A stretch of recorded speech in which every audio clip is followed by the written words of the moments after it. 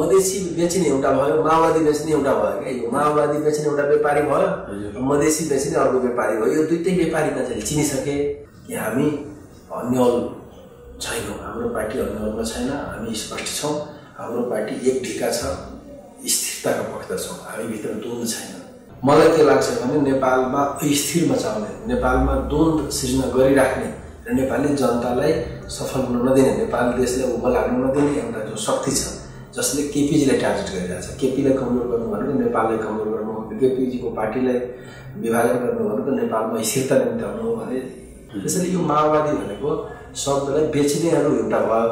हामी माओवादी भित्री। माओवादीका जो सार कुरा हो परिवर्तनका इस्युहरू हो खास गरी किसान मजदुरका इस्युहरू हो त्यसले अहिले केपिजी मधेसलाई चाहिएको छ केपिजी नेपाललाई चाहिएको छ र हामी योभन्दा अगाडि नै जसरी हामी मधेसमा जो मुभमेन्ट गऱ्यौँ केपिजीलाई नै अगाडि सारेर किन लिडरसिपलाई अलग राखेर मधेस बन्दैन।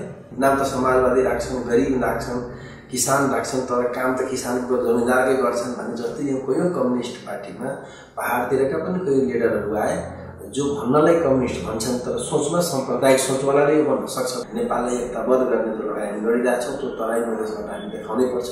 र तराई मधेस भनेको समृद्धिको लागि पनि एउटा आधारभूमि हो राष्ट्रियताको लागि पनि एउटा उर्वर भूमि हो र एकताको लागि पनि एउटा एउटा महत्त्वपूर्ण ठाउँ हो। त्यसैले एकताको भाव दिन पनि राष्ट्रियताप्रति एउटा मेरो स्टेट के छ भने कुनै पाइला चाल्नुभन्दा अगाडि सोचे सम्झेर अनि पाइला चाल चालिसकेपछि गोहेड अगाडि बढ्नु मेरो सही भयो त्यसैले नेकपा हुँदासम्म म गोहेड नै थिएँ। नेकपा हुँदा ओलीजीले सघाउनुपर्छ पार्टीलाई पार्टी एकता जोगाउनुपर्छ देशमा कम्युनिस्ट सरकारलाई नै निरन्तरता दिनुपर्छ भन्नेमा म कहीँ कन्फ्युजनमा थिएन स्पष्ट पनि लागेन। जब नेकपालाई अदालतले को निर्णयले वा जजसको कारणले भए पनि जब एमाले माओवादी भएर जब आयो त्यसपछि हो। मेरो अलिअलि असन्तुष्टि तपाईँ सुन्नुभयो होला। कि एमालेको निरन्तरता हो कि नेकपाकै नयाँ नाम एमाले हो? अनि यो स्पष्ट नहुँदा यतिकै म अगाडि बढ्न सकिनँ। यो अन्य उपस्थिति बिचमा रह्यो। र अहिलेको विधान अधिवेशनले नेकपाकै निरन्तरता यो एमाले हो नाम एमाले भने पनि यो पार्टीको लिगेसी भनेको नेकपाकै निरन्तरताको रूपमा रहन्छ। यो नयाँ एमाले हो भन्ने ढाँचामा भन्ने ढाँचामा जसरी निर्णय गरेर आयो। विधान अधिवेशनले नै त्यसलाई एउटा नयाँ दिशा दिइसकेपछि मेरो असन्तुष्टि अलिकति सम सम समापन भयो होइन ठान्दैछु सालमा हिजोको नेकपा एमाले होइन यो नेकपाकै नयाँ निरन्तरता हो नयाँ रूप हो भन्ने कुरा बुझेर र हामी अगाडि बढ्यौँ भने त्यो मेरो मेरो भावनालाई सही ढङ्गको बुझाइदिन्छ जस्तो लाग्छ। त्यसैले अब मेरो कन्फ्युजन कहीँ पनि छैन। अब एसपिड नै हुन्छ। स्ट्रगल एउटा पार्ट हो जीवनको पार्ट हो। इनर स्ट्रगल चलिरहेको छ पर्सनल चलिरहेको छ। तपाईँले स्ट्रगलमा हामी उन्नत आफूले ठान्नेहरूले स्ट्रगलमा हामी जसरी पनि सही दिशा लिन सक्छौँ या हामी आफ्नो पोजिसनलाई वा आफ्नो भूमिकालाई स्थापित गर्न सक्छौँ भन्ने आशावादी भएर नै हिँड्नुपर्छ। त्यसैले मलाई एमाले पार्टी कम्युनिस्ट पार्टी हो हामी खालि काम गरेको पार्टी हो सबभन्दा उन्नत विचार लिएको पार्टी हो त्यसैले एमालेमा एडजस्ट गर्न सक्ने कि नसक्ने कुनै कन्फ्युजन छैन प्रभु चाहिँ एमाले हो एमाले भन्छ यसमा कुनै कन्फ्युजन कुरा त हामी विधान अधिवेशनमै टुङ्गाइसकेकोले खासै त्यसमा हाम्रो अनि कुनै विधान अधिवेशनले मूलभूत काम महाधिवेशनको गरिसकेका छ त्यसमा त अहिले महाधिवेशनको एउटा महत्त्वपूर्ण पाठ भनेको वैचारिक पाठ हो कार्य दिशाको पाठ हो। त्यो एक ढङ्गको हामी समापन गरिसकेका छौँ र त्यसमा एकमत छौँ। जब हामी विचारमा एकमत भइसकेपछि धेरै किचरो हुँदैन। किनकि मुख्य कुरा कम्युनिस्टहरूले र एउटा समाज बदलावका अभियन्ताहरूले सोच्ने कुरा भनेको कार्य दिशा नै हो। त्यसमा हामी एकमतले पारित गरिसकेपछि अब सङ्गठनमा नेतृत्वमा धेरै किचकिच गरिराख्नुपर्ने धेरै किचेर गरिराख्नुपर्ने जरुरी पनि ठान्दैन र मलाई लाग्छ सरसङ्गठन पनि देशव्यापी रूपमा प्रतिनिधि चुनाव भइरहेको छ। एकान्त ठाउँ बाहेक एकान्त जिल्ला बाहेक मूलभूत रूपमा सरसहमतमा र उत्साहजनक ढङ्गले नै जनप्रतिनिधिको भइरहेको र करिब करिब अस्सी पर्सेन्ट सकि पनि सकेको स्थिति छ। अर्को जनपद जानु काम पनि व्यापक भइरहेको छ। एउटा ठुलो बाँसको बिचबाट जो महाधिवेशन उद्घाटन गर्दैछ। त्यसको तयारी पनि भइरहेको छ र त्यसको मतदान यदि गर्नै पऱ्यो भने त्यसको प्राविधिक तयारीहरू पनि र अरू प्राविधिक कुराहरू जो व्यवस्थापकीय पाठहरू हुन्छन् कार्यक्रम त्यसमा पनि राम्ररी तयारी भइरहेको छ र मलाई लाग्छ पुरै एमाले पार्टी नै महाधिवेशनमा बनेका छन्। मेरो स्पष्ट के दृष्टिकोण हो भने नेकपा अहिले नेपाल देश एक ढङ्गको अन्यलग्रस्त र अस्थिर बनाउन खोजिरहेछ। र तपाईँ अस्थिरताको शिकार भइरहेछ नेपाल। त्यसलाई हामी स्थिरताले मात्र जवाब दिन सक्छौँ।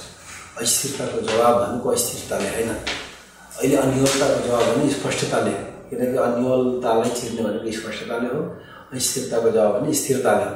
अब यो स्थिरताको नेतृत्व गर्ने नेकपा एमाले स्पष्टताको नेतृत्व गर्ने नेकपा एमाले आफ्नो महाधिवेशनबाट एउटा सन्देश दिनुपर्छ कि हामी अन्यल छैनौँ हाम्रो पार्टी अन्यलमा छैन हामी स्पष्ट छौँ हाम्रो पार्टी एक ढिका छ स्थिरताको पक्ष छौँ हामीभित्र द्वन्द्व छैन।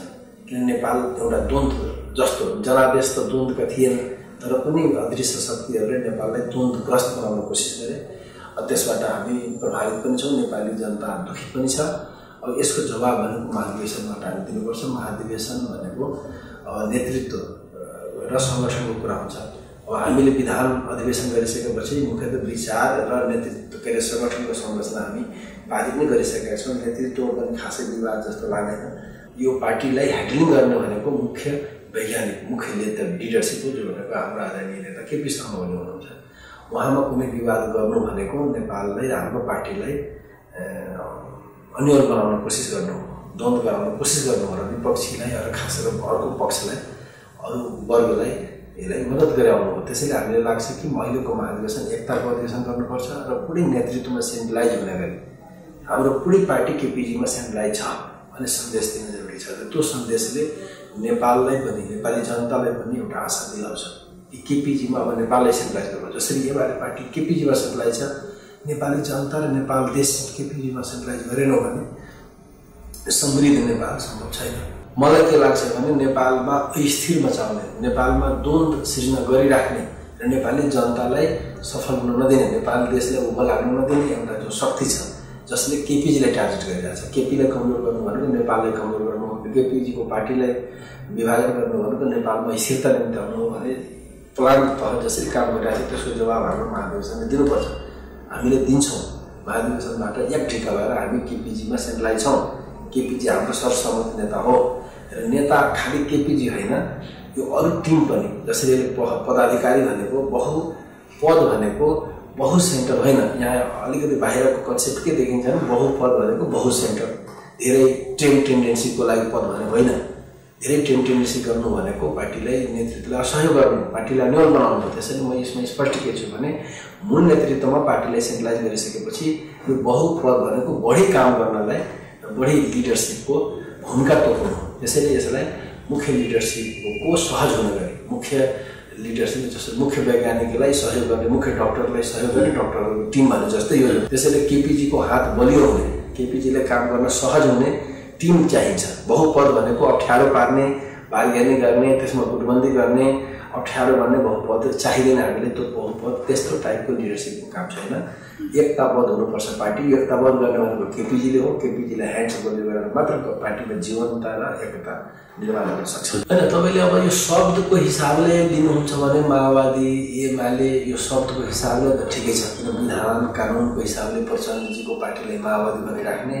र एमाले भनेको केपिजीको नेतृत्ववालाले एमाले भनिराख्ने हो भने त यो आफ्नो ठाउँमा छ। तर राजनीतिक व्याचारी र मुख्यतः कान्ति बोलले मैले सुरुमा भनिसकेँ यो नेकपा भनेको हिजोको माओवादी एमाले विघटन गरेर नेकपा बनाइसकेपछि राजनीतिक विचारले त्यसैले नेतृत्व दिनु भनिसकेपछि मोरल पनि हामी पछाडि फर्किन मिल्दैन र हिजो माओवादी एउटाको विघटन भइसकेको र मुख्यतः माओवादी जो एजेन्डाहरू थिए माओवादी जो विचारहरू थिए ती करिब करिब विगतमै एकताभन्दा अगाडि नै विसर्जन भइसकेको छ। किनकि हामी बल प्रयोग भन्ने कुरा जमानामा छोडिसकेका छौँ। हामीले उठाएका परिवर्तनका मुद्दाहरू खास गरी प्रचण्डजीले दुनियाँलाई बेचेर नै सिधाइसकेको स्थिति छ। अब बचे खुचेको माओवादी जो भन्ने चिजलाई उहाँले पटक पटक पिचिसक्नुभयो त्यसैले क्यास मिलिसक्नुभयो माओवादीका जो लिगेसीहरू थिए माओवादीका जो रापतापहरू थिए माओवादीका जो एजेन्डाहरू थियो त्यसले भजाइसक्नु भएको छ। अब खासै त्यो माओवादीमा केही रहेन। त्यो माओवादीको एजेन्डाको बरु हामीले र मुख्यतः अहिलेको एमाले अगाडि बढाउने जसरी म तपाईँसँग कुरा गरौँ माओवादीका जुन एजेन्डाबाट जनयुद्ध हामी सुरु गरेका थियौँ कि नेपालको जो सामाजिक स्थिति छ जुन जो बनौट हो सामाजिक बनौट हो आर्थिक जो बनौट हो अब यसलाई हामी कसरी रूपान्तरण गर्ने भन्ने दिशाबाट जो एजेन्डाहरू हामी अगाडि सारिरहेको थियौँ त्यो केही हदसम्म त्यसलाई जुन ढाँचामा हामी खोजेको थियौँ त्यस्तो नभए पनि संविधान सभाबाट नयाँ संविधान बन्नेसँगै त्यसको एउटाको समाधान भइसकेको कन्टेन्टमा। र हामी बल प्रयोगबाट समाज रूपान्तरण गर्छौँ भन्ने कुरा शान्ति प्रक्रियासँगै छोडिसकेको सन्दर्भमा अब माओवादीका बुद्धि कुरा त्यसको भित्री कुरा नै एक ढङ्गको हामी इन गरिसक्यौँ माओवादी नाम हजाइराखेर काम छैन अब तपाईँ हेर्न सक्नुहुन्छ कयौँ माओवादीका अझ पुरानो लिगेसी भएका नेताहरू माओवादी भनिराख्नु भएको छैन। जस्तो मोहन वैदजी आफूले माओवादी भनिराख्नु भएको छैन विप्लवजी आफूले माओवादी भनिराख्नु भएको छैन बाबुराजी आफूले माओवादी भन्नुहुन्न तर प्रचण्डजीले माओवादी भन्न छोड्नुहुन्न। किनकि त माओवादी भनेर छोड्यो भने व्यापार गर्नुहुन्छ त्यसैले यो माओवादी भनेको शब्दलाई बेच्नेहरू एउटा भयो।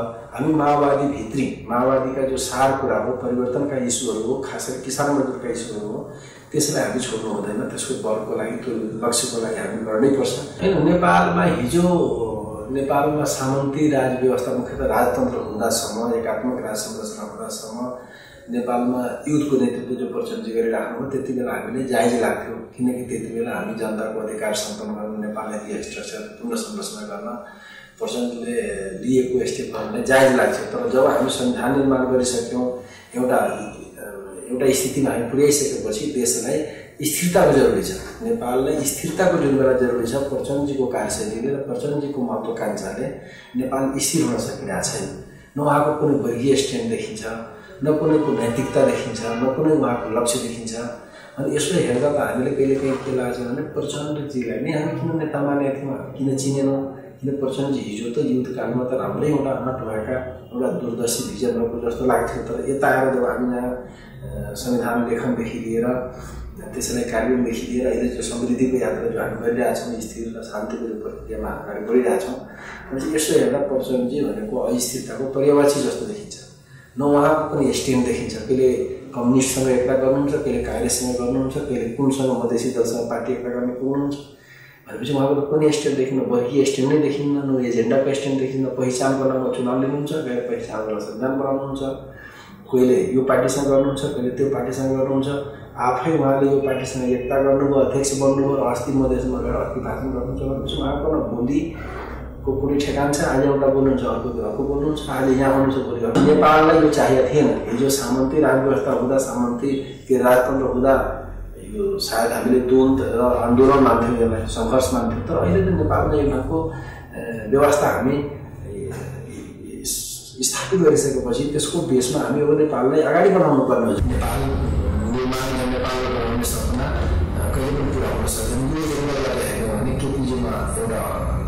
सोच पनि देखिन्छ नेपाललाई समृद्ध बनाएर छोडिन्छ भन्ने एउटा सोच देखिन्छ।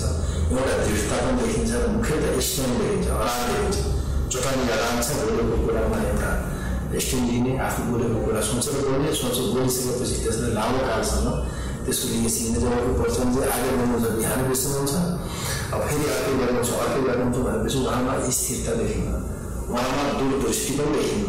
निस्वार्थमा एकछिनमा कुरा फेर्ने एकछिनमा यहाँबाट त्यहाँ पुग्ने जस्तो देखिन्छ त्यसैले नेपालको अहिलेको आवश्यकता अहिलेको आवश्यकता भनेको स्थिरताको आवश्यकता हो अहिलेको आवश्यकता भनेको दृढ इच्छा शक्तिको अवस्था अहिलेको आवश्यकता भनेको राष्ट्रपतिको एकदम ठुलो प्रिय बडा लिडरसिपको आवश्यकताको सबै मैले हेरेर प्रचण्डभन्दा धेरै कुरा राम्रो विधान अधिवेशन यता त खास त्यस्तो सुन्नुभएको छैन होला विधान अधिवेशनभन्दा अगाडि मैले भने एउटा ठुलो अनुभव भयो किनभने नेकपा बिचिरहँदा एउटा एकतालाई भाग्ने पार्टीले पनि तहसनस गर्ने काङ्ग्रेसी इसारामा विदेशी इसारामा हिँड्ने एउटा टिमहरू होइन हाम्रो कम्युनिस्ट सरकारमा हामीले गर्न सक्यौँ दिदीको काममा हामीले छ भन्ने हिँड्ने एउटा टिमहरू नेकपा हुँदासम्म त अनिवार्य थिएन एउटा माओवादी साथी उत्साहित नै थिए केपिजी सरकारकोमा जब एमाले माओवादी बिग्रिसकेपछि अब एमाले हो कि यो नेकपा तपाईँको अनुभवको कन्डिसनमा तपाईँले भने जस्तो साथीहरू अलिक फर्किने क्रम भयो होला तर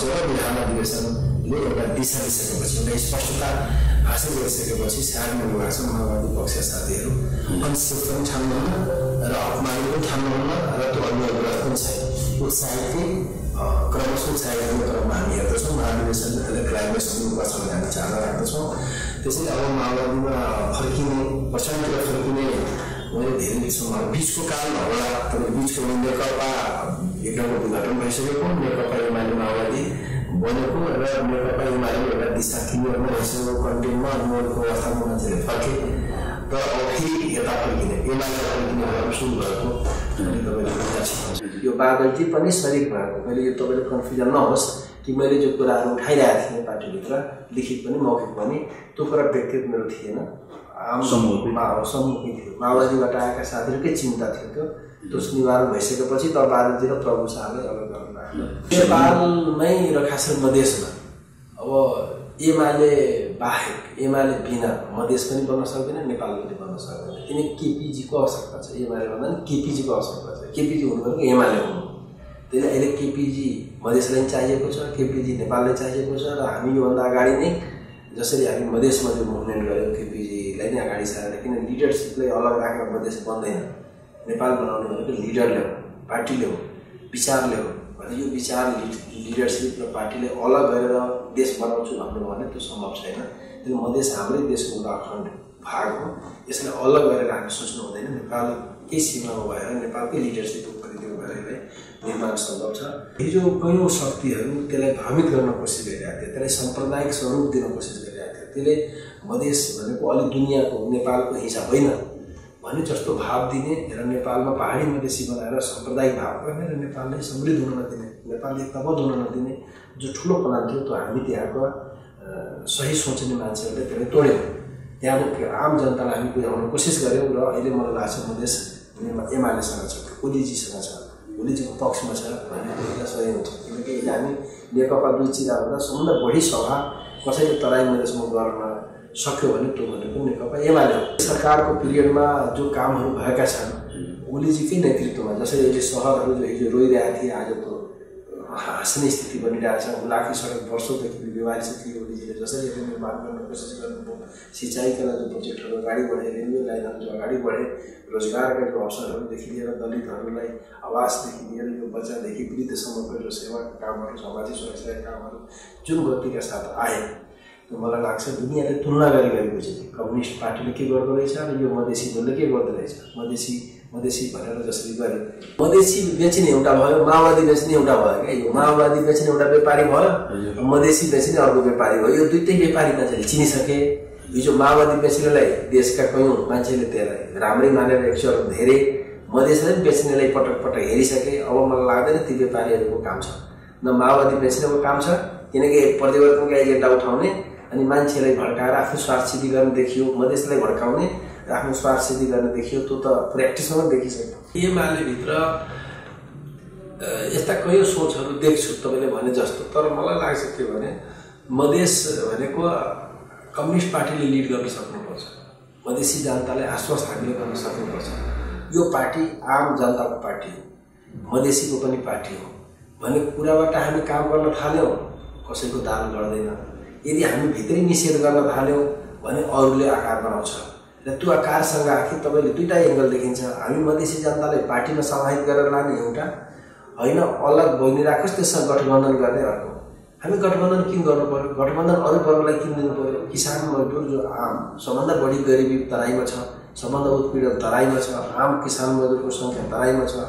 अनि ती तराईका किसान मजदुर कम्युनिस्ट हुन् त्यसलाई कम्युनिस्ट बनाएर हामी नेतृत्व लिने वा कम्युनिस्टमा समाहित नगर्ने कम्युनिस्ट पार्टी भनेको एउटा सीमित समुदायको बनाइराख्ने र मधेसीलाई अर्कै कुनै ठेकेदारको जीवन लगाएर त्यसमा गठबन्धन गर्ने। पछिल्लो कयौँ नेताहरू सम्प्रदाय जसरी यो मधेसी सम्प्रदाय छन् मधेसी दल समाजवादी नाम राखे पनि जनअधिकार राखे पनि के अधिकार लोकतन्त्र राखे पनि नाम त जे राखे पनि नाम त समाजवादी राख्छन् गरिब राख्छन् किसान राख्छन् तर काम त किसानको जमिनदारकै गर्छन् भने जस्तै यो कयौँ कम्युनिस्ट पार्टीमा पहाडतिरका पनि कोही लिडरहरू आए जो भन्नलाई कम्युनिस्ट भन्छन् तर सोचमा साम्प्रदायिक सोचवालाले यो भन्न सक्छ। तर मैले तपाईँले एउटा सत्य कुरा के भन्छु भने जुन बेला नेपालमा कम्युनिस्ट पार्टी राम्ररी बुझेको थिएन केही सीमित मान्छेहरूले कम्युनिस्ट पार्टी स्थापना गरिरहेको थिए त्यति बेला तराई मधेस खास गरी बाह्र उत्रहरूले एउटा राम्रो उत्कर्ष का भूमिका खेलिरहेको थिए उत्कृष्ट भूमिका खेलिरहेको थिए। र नेपाललाई चिनाइरहेको थिए कम्युनिस्ट भनेको यो हुन्छ। यसरी काम गर्छ कम्युनिस्टले। जसरी किसान आन्दोलन भयो कम्युनिस्ट पार्टीकै अगुवाईमा दुईवटा सिट सांसदमै रौतहटले जितायो। भनेपछि देशभरि नजितिराख्दा तराईले जिता देशभरि कम्युनिस्ट नबुझेर राख्दा तराईले नै आन्दोलन गर्यो। भनेपछि तराई मध्ये वामपन्थीको पक्षमा छैन कम्युनिस्टको पक्षमा छैन भन्न मिल्दैन बरु कहीँ न कहीँ हामी मिस गऱ्यौँ। यो हाम्रो भूभाग हो। कम्युनिस्टको क्षेत्र हो। यो हामी हेर्छौँ बोर्डरमा कम्युनिस्ट भएर काम गर्नु विभिन्न ढङ्गको अप्ठ्याराहरू छ। त्यो हिजो त्यो अप्ठ्यारोलाई चिर्ने गरी किन सोचेन नेतृत्वले? तराईमा काम कम्युनिस्टको झन्डा हामी तराईको बोर्डरमा राख्न सक्छौँ भन्ने त्यो चाहनासहित त्यो मर्यासहित गर्नुको सट्टा अब तराईहरूलाई जिम्मा लाउने र त्यससँग सारघाट गठबन्धन गर्ने त्यो पोलिसीले काम गर्दैन कम्युनिस्टको क्षेत्र हो त्यो कम्युनिस्ट हो। त्यहाँको जनता कम्युनिस्टतिर हेरिरहेछ। हामी भागेर हुँदैन। त्यसको नेतृत्व हामीले दिन सक्नुपर्छ र कम्युनिस्टलाई हामी यसो छाती चौडा गर्ने कि तराई मधेस पनि त्यसमा अट्ने तराई मधेसमा अलग गर्ने सोच कुनै हालतमा सही कम्युनिस्टको सोच हुन सक्दैन। कुनै पनि नेपाली देशभक्तको सोच हुन सक्दैन। कोही पनि देशभक्तले तराई मेरो भूभागमा कुनै पनि सही कम्युनिस्टले तराईको जनताको पनि यो साझा पार्टी हो। सकिन्छ सक्नुपर्छ। तराई मधेस एउटा राष्ट्रियताको जो लडाइँ हामी लडिरहेका छौँ नेपाललाई समृद्ध बनाउने जो लडाइँ लडिरहेका छौँ नेपाललाई एकताबद्ध गर्ने जो लडाइँ हामी लडिरहेका छौँ त्यो तराई मधेसबाट हामी देखाउनै पर्छ। र तराई मधेस भनेको समृद्धिको लागि एउटा आधारभूमि हो। राष्ट्रियताको लागि पनि एउटा उर्वर भूमि हो र एकताको लागि पनि एउटा एउटा महत्त्वपूर्ण ठाउँ हो। त्यसैले एकताको भाव दिन पनि राष्ट्रियताप्रति एउटा भूमिकाले उत्कृष्ट देखाउन पनि मुख्यतः समृद्धिको लडाइँको नेतृत्व दिन पनि तराईमाथि भरोसा गर्नुपर्छ र तराईले समाहित गरेर अगाडि बढ्नुपर्छ। तब मात्र हामी देश समृद्ध गर्न सक्छौँ। मलाई लाग्छ एमाले सक्छ।